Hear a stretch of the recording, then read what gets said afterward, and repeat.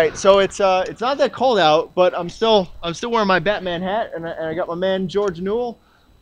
Uh, it's been a busy week for me, and I don't want to talk any horses. I don't talk any USDA stuff. So um, uh, you you you got a second job. Yes, I do. You've been a uh, what, what's your technical sous chef, right? Or no? Yes. Sous chef. So give everybody the the official definition.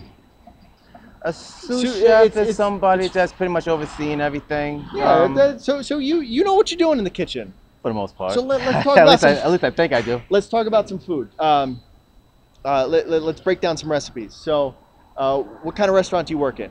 Actually, I'm not at a restaurant. I'm at a facility called Stony Brook Hospital. Okay. So, ha- have you always worked at that? Like, how long have you worked at there? 25 years. Oh, so- okay. So, so favorite dish? Like, do you guys do specialties over there? Um, at times we do, yeah. Okay. So, so what do you get to? Do you get to pick the specialties? No. No, you don't. No. 25 years, you don't get to pick a specialty. No.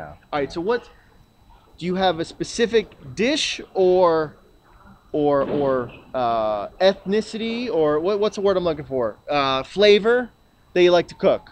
Well, I like. Um, What's George's favorite recipe? Plain and simple. George don't really have a favorite recipe uh, or anything like that. Um, I enjoy cooking, of course, Jamaican Uh, food. okay. Okay. If I have to um, Can, can, we that, talk? Wait, wait. if- let- all right, let's talk about that. So, so there, there we go. So, so I, I love, I love Jamaican beef patties. Who Okay. doesn't? If you don't like Jamaican beef patties, turn off this interview now.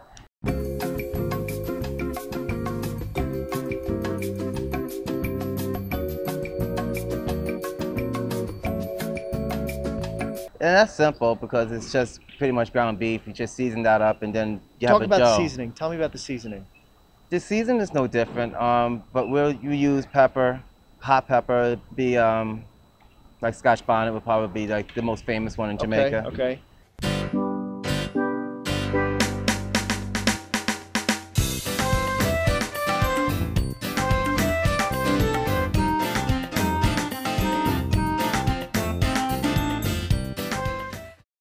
Eat. Oh, Gina.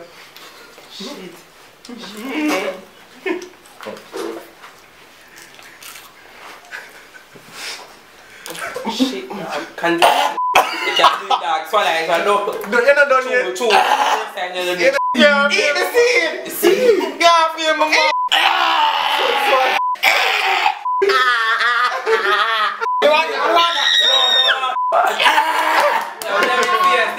Stay back. Stay stay with it. Get the middle. Get the middle. Wow, one more crowd, crowd, what's up, dog? Okay, one, two, three.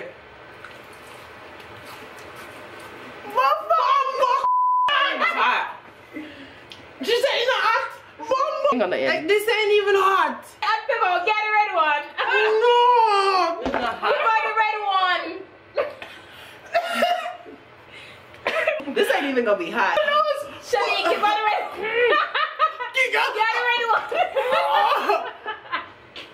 You ground that up Yeah, you may want to ground it up without the seeds because the without seeds the is, seeds. Okay. The seeds is the without hot, the, the, hot part. Okay. You know, with any kind of pepper. But what if you want the? What if you want the? Like like when I cook chili, I put the jalapeno peppers, the seeds right in that. Well, you see, jalapeno is a lower grade. You know, so you're gonna get Oh, that okay, taste. You're gonna get you're gonna get a lot of heat. So you get the heat and the taste. So you're so saying what I'll do more, more likely is I deseed the pepper, okay? and then I probably throw, depending on how much I'm making, a little bit of the pepper is- flakes, okay. and then I grind it up. Okay, so you don't do anything with the seeds, or is that maybe you wait till the seeds will last, throw a little hotness in there? You want to know what you're dealing with because there's one thing about heat you can't take it out. okay. Once it's that's you can't take it out. Just like That's true. salt, salt's like the last thing you want to add to any kind of thing that you incorporating because you can't take that out. You can't take that out. So so you want to.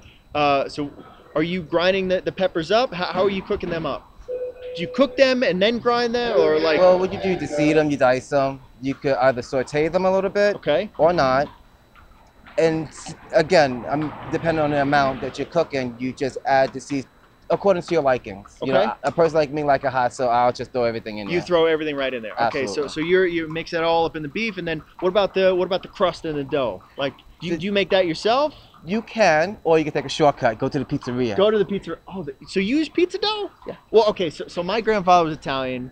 He did all the cooking. You know, he, he rolled out the, the pasta on his table and uh, dining room table and stuff like that. But then it's a new age. So we just like you said, he went to he went to Shoprite and got some uh, got you know he'll get the pasta, Yeah, he'll you get, the get pie crust. Yeah. So is the pastry worth cooking by yourself or just go to the store and get it? Well, you know, it all depends. Like if it, everything is time consuming when you're doing things from scratch. Okay. So you got the yeast, the water, Right. the measuring. You know, then you got to sit there and let it rise. So it is time consuming, but in this day and age, who has time to do all of that? You take more pride in the seasoning and, and, and the ground beef, right? oh, absolutely. Okay. Absolutely. So so you're, you're filling the patty up. Uh, anything else you like? Some Well, you- patties, some patties have vegetables in them. Some. so What do you like to do? I just like the regular beef, chopped You- beef. you just Yeah, like I'm pat- not really into like you know. If that's the case, I'd probably make a shepherd's pie if I want vegetables and all okay. that.